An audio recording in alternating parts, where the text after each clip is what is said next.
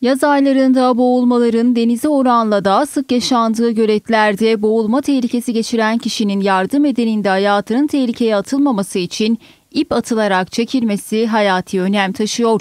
Samsun Büyükşehir Belediyesi İtfaiye Daire Başkanlığı Sualtı Grup Arama Kurtarma Ekibi Amiri Faruk Patkavak, Samsun'da sahil boyunca 45 can kurtaranla hizmet verdiklerini söyledi. Durağan su e, bulunduğu coğrafi bölgeye özelliğinde toprak ve benzeri ya da işte dışarıdan e, doğal afetler, yağmurlar, karların erimesi suretiyle o gölete gelen moloz ve toprak yığınlarının oluşturduğu balçık alan oluşuyor.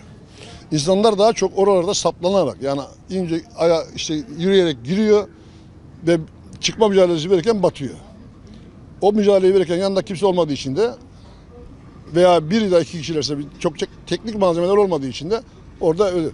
Ama bizim çok kısa net akıllarında kalma babından söylüyorum.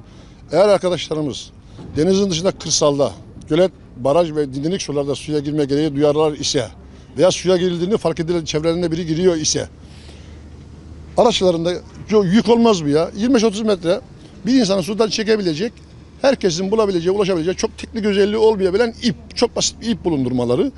En azından suya girmek girmeden de ip atılmak suretiyle vatandaşın çekilmesi suretiyle yardımcı olabilirler diye düşünüyoruz.